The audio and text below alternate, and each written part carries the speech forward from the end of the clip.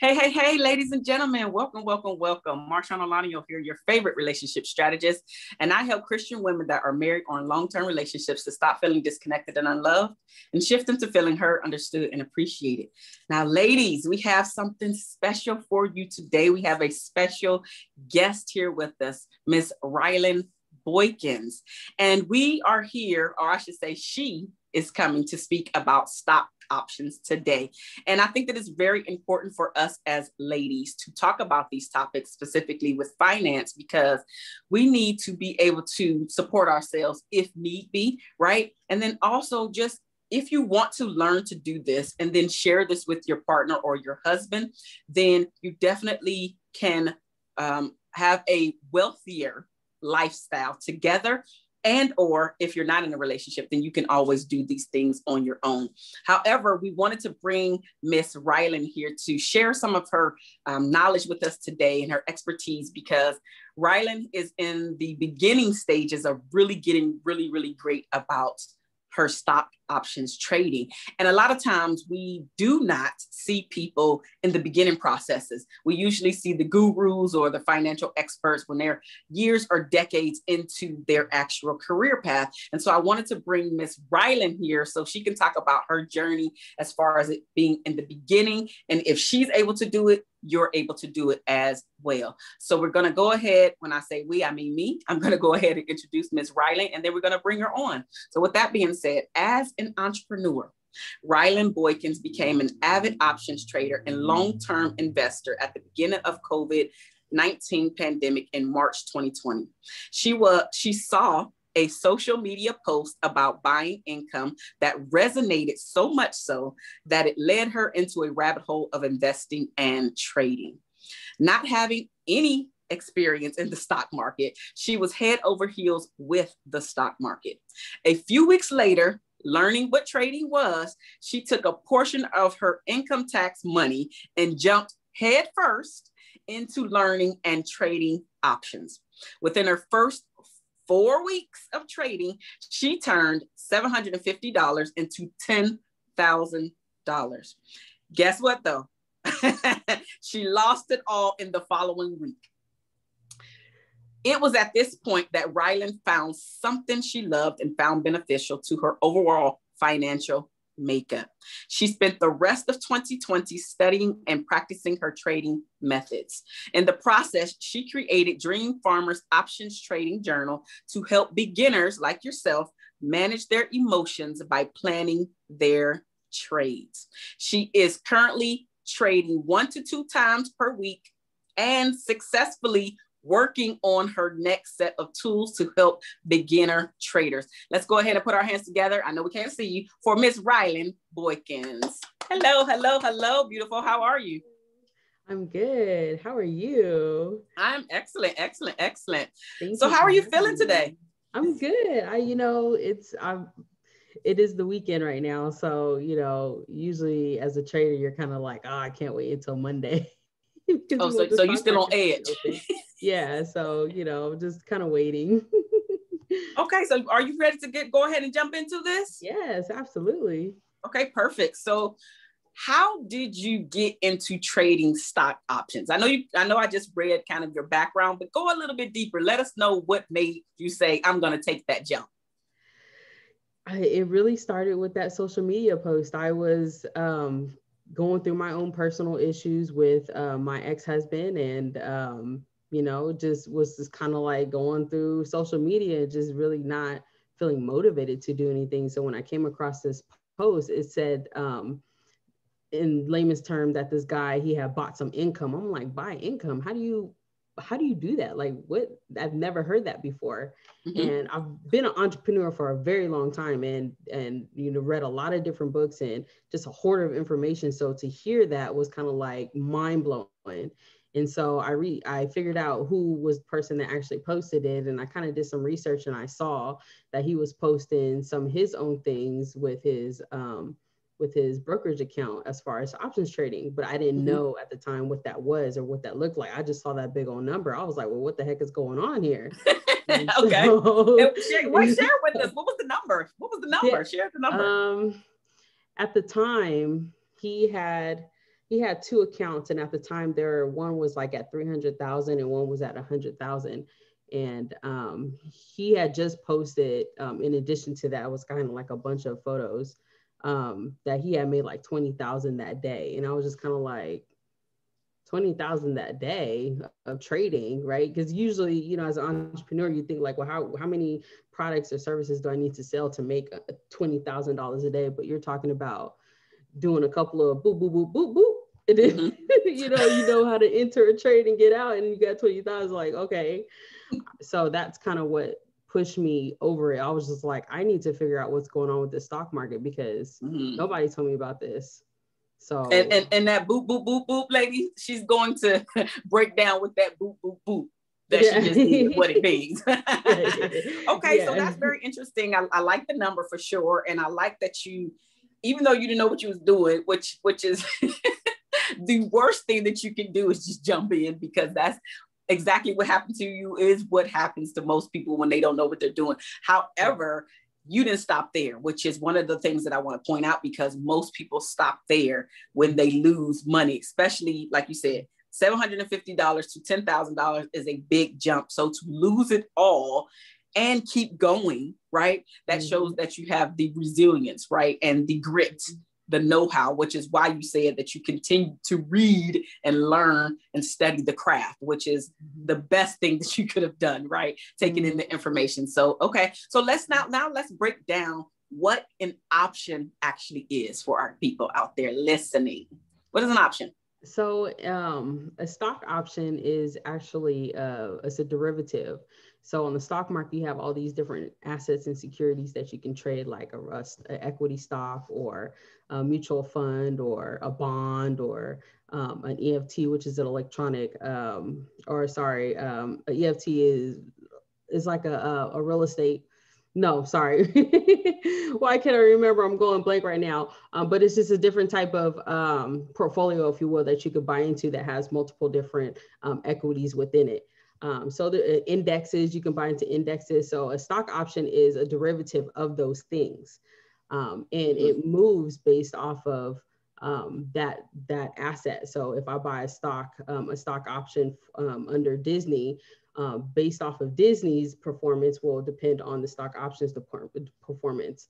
And um, and so when I say derivative, when the options world is really we're trading contracts, and the contracts is having the right to buy or to sell um, a contract. A, a contract has a hundred shares within one contract. So mm-hmm. if you can understand and break down, like, okay, this is how contracts work. And this is, you know, because it's, it's like this in other industries too. Um, so you're we're basically trading contracts. that's what it do. That's what an option is, is a contract. Yeah. Mm-hmm. So and as you just mentioned, you said one contract is 100 shares, correct? Yes, one one contract is 100 shares, and um, and then there's different um, different um, I guess, vehicles to be able to sell the contract because you can actually purchase a contract to sell it, or you can um, purchase uh, purchase the contract to buy it. Um, so that's when you get it gets really advanced and gets it can get really confusing. Um, and for me, that was something that um, I had to really learn because I lucked up and made a bunch of money, but I didn't really quite understand the basics of what an actual contract like i didn't know that it was a contract like i hear it's a derivative blah blah blah all these different terms mm-hmm. but it doesn't really sink in until you actually put in the work and, and really understand it because it's this is why i don't train it i'll mm-hmm. create the tools but i don't train it because it's so it's so advanced but yeah if you look at it as it's just a contract with and the contract holds 100 shares and there's different things that i can do with this contract in the trading terms and then I all I need to do is understand the trading terms, I'll be okay. So that's what an option is, it's a contract. Okay, perfect.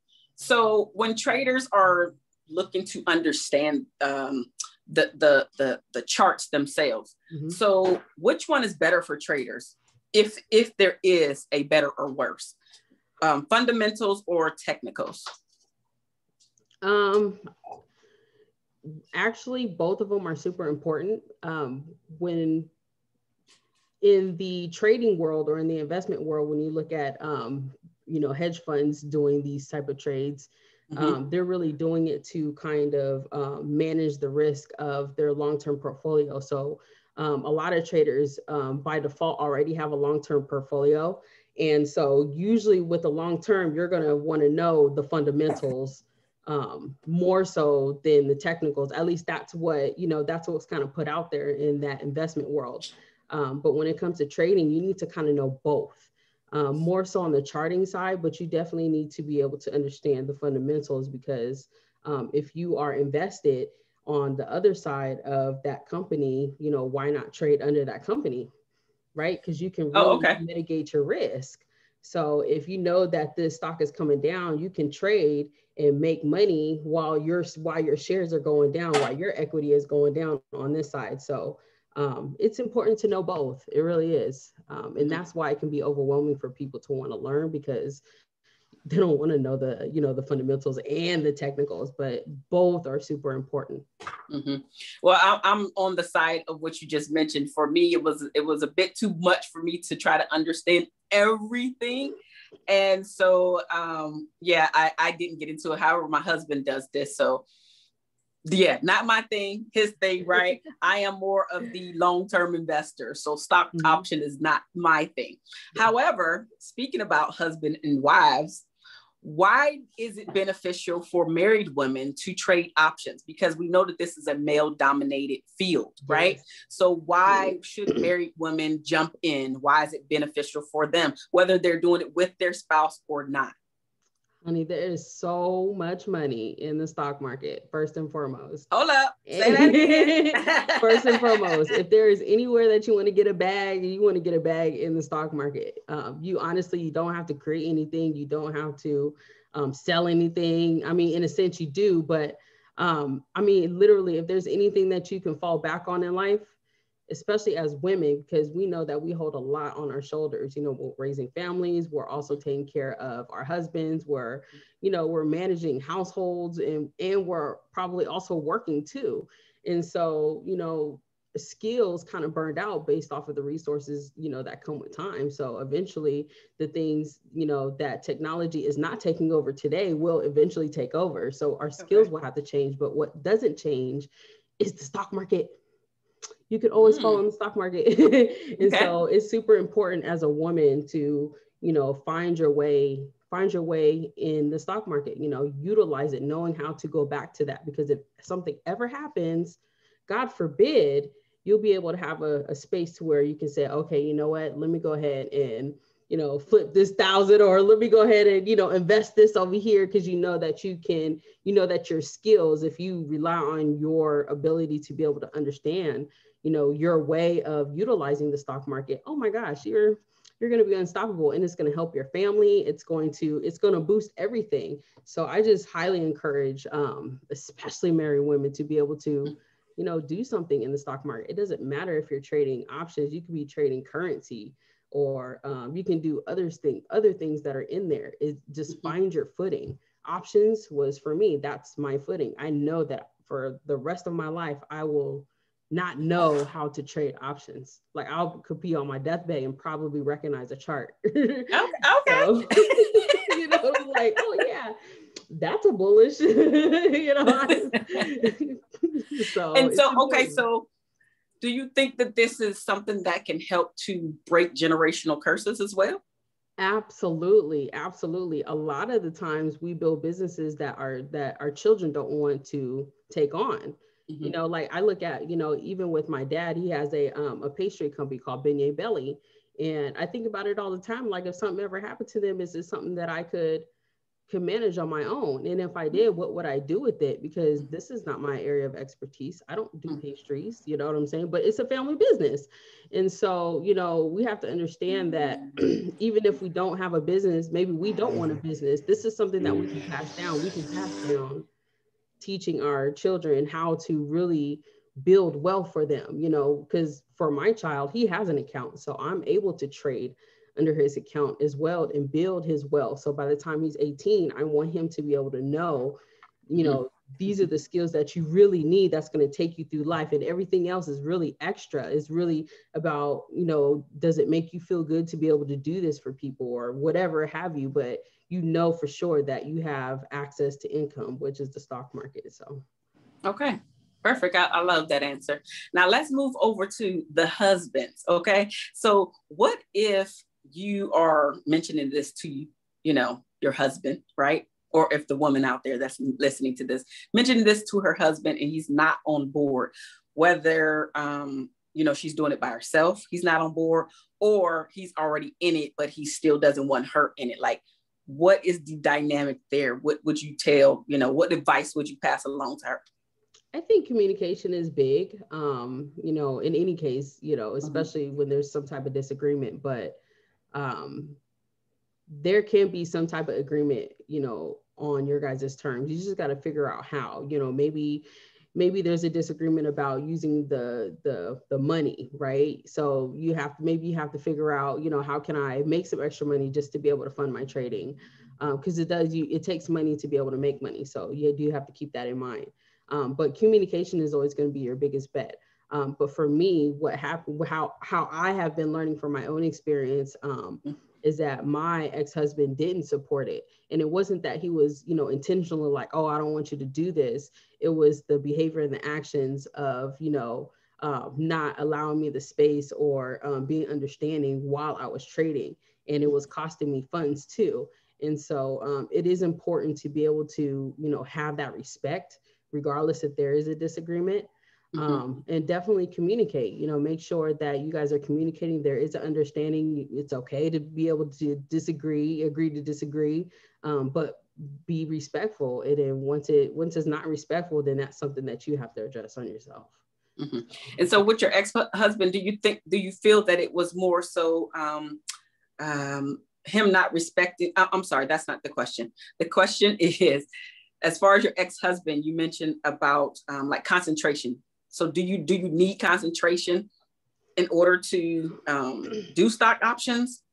Um, you definitely need um, some space to be able to, you know, execute. Um, because so, so trading, what does that mean? What does that so mean? So trading is all about um, finding an entry point and finding an exit point. You're finding a way to get into the stock market through a contract or a trade or whatever, and then you're finding your way to get back out. Um, and so it's during those times where you're you're charting, you're trying to figure out a way to get in that can, you know, require some concentration or some quiet time, if you will. And usually um, I, I can trade in the bed with my phone, right? Because they make it so easy for you to be able to do that. I have all of my tools, tools on my phone. Um, but sometimes I do have to get to a computer, or sometimes I just need, you know, my toddler to just kind of sit down and chill somewhere, just so I can, you know, look at this map real quick, so I can, you know, do this entry. Um, I mm-hmm. don't like to put my things on automation when it comes to trading, so I like to manually go in there. So yes, okay. you definitely need to, you know, dedicate just a small space of time. It's gonna be like you're gonna have to end up spending a lot of time and then eventually as you get better then you can start minimizing the time that you do spend um, to be able to enter and execute because in the beginning it's all about just trying to figure it out you know? I need to be i need to repeatedly look at it. So all day every day that's all i do is look at charts look at this look at that. Mm-hmm. and then now i don't need to look at it that much. I can look and recognize and like oh okay boom let me do this real quick. And then 10 minutes i don't have to do anything for the rest of the day i'm good Okay. So, yeah. okay, so so I'm sure the audience is out there wondering, did you ever recover that ten thousand dollars? I know not the exact amount, right? But oh, you yeah. ever recover? Okay. Oh okay. yeah. Oh yeah. Absolutely. I definitely recovered. I um you know, I'm a single mother now, so um, I've been living off of that. In addition oh, to, you know, you know, other benefits that I'm. Thank you for California. Um, you know, so I just been really been, been smart about, you know, about the money now. I'm getting it in smaller chunks. It's more consistent, and um, I'm treating it as an income. So um, I just was like, I'm going to create my own, you know, stimulus check, and then on top of that, it's going to be like it's gonna be better than you know what, what, the government is giving me. So that's how I treat it. It's like every month I got my own stimulus check. oh, I love that. Yeah, I love that. I love, hope, hopefully you ladies are paying attention, right? She got her own stimulus check monthly. Okay, she ain't just waiting on that government. Okay, okay. So this is my final question before we wrap it up. So, what is the question people should be asking you, but they usually either don't because they don't know what the question is that they should be asking, or because maybe they're a little too shy, i.e., scared to ask the question? I think one of the um one of the biggest questions that I wish that somebody would ask me was um how, how can I approach learning options trading without getting overwhelmed? Because um mind you, anybody who gets into options trading most of the time doesn't like, especially in my age group, in my generation, we don't know too much about the stock market. We just know 401k, or we might know or recognize IRA. um, True. And so um, it could be very overwhelming anytime that you get into the to the market. And a lot of times there's a pressure of feeling like we have to learn everything all at once. Oh, I got to learn all of this. Oh, I got to learn this method. But mm. the reality is, is that the stock the stock market is designed for you to have your own method. And if you don't know yourself, then it's going to be very difficult for you to be able to create a method for you to be successful in the stock market uh, because there's too many different indicators, too many different processes and things that you can use. So any combination can work for you. It's, it's about what is comfortable with you. I'm not a numbers person. And so mm. I learned, I, I, know that I'm a patterns person. So anything that has to do with like statistics, like the Greeks and stuff like that, I don't mess with because I don't do standard deviations. I don't do decimals. I don't like none of that. No, I stick with what I know. yeah, yeah, you know, yeah. I love patterns. And so that is what has made me successful. And so I wish that somebody would have like showed me, you know, this is how you go about it. Don't just buy everybody's classes because mm. all they're mm. doing is selling you how they go about learning the stock market and how they go about using their indicators. Oh, that's true. That's true. You know what I'm saying? So mm-hmm. it's it's like, okay, do I want to purchase this method or do I want to purchase this method? No, you know, it's okay if you if you really just want to see how somebody's doing it because I've invested in several of them. But then I realized that, you know, I need to at some point I need to really just find my own method or yeah, that's true. Know, build. Mm-hmm build, you know, pull and pick and pull uh, from other people's method and make my own, which I have done. And that's where that's where the confidence of the trading comes in into place. And so I just wish that somebody would be like, hey, you know, how do you how do you do this without being so overwhelmed? Because the learning mm-hmm. aspect, oh man, it'll take everybody out. It's like, no, I don't want to learn all that. That's too much. and so is this where you came up with the tools that you mentioned? The tools. Yes. Okay, so tell us about yes. that. Yes. So um, this is why I don't teach, right? I, uh, I think that, um, and I'm a teacher, I'm a trainer. So, but I think at some point I might create a course on teaching people how to go about learning the stock market, how to develop their own process, mm-hmm. um, and just kind of exposing them to different areas. Um, but in the meantime, I wanted to create something for myself. Okay. Everything that I create, I create it for myself first because I need it. Like I need mm-hmm. to be reminded. So this is an options trading journal. And okay. I did it for beginners because I'm a beginner. It's not too fancy, um, but it's to help eliminate FOMO. FOMO is what you call fear of missing out. Okay. And a lot of times when people are beginning in, in the beginning stages, they want to chase the trade like, oh, this is about to go up. This is where people start buying really high and then they lose all their money because it's already too high. And so this right here. This is that emotional, emotional purchasing. emotional trading. Yes. Mm-hmm. And so this was to alleviate the emotions from your trading. Is to teach you how to trade, how to plan your trades effectively. Okay. Mm-hmm. And how mm-hmm. to trade it. So you have different sections right here that just uh, allows you the space to, you know, take notes of different trades and to um, to kind of study first. Don't just jump into something because you're like, oh, okay, that's you're gonna lose that 10 grand like I did. You don't want to I'm telling you. I've been using this, I use this often, right? I, I do sometimes I still have my little what you call it, but you know, I use this often um, to help me in my training because the last thing that I need, you know, at this point is to mess up my trading style by ignoring myself. I already did spent this much time, you know, investing in my method and it works. so, um, so yeah, that's that's it. You can get that on Amazon. Um, Perfect. Let me show you one more time. Options Trading Journal.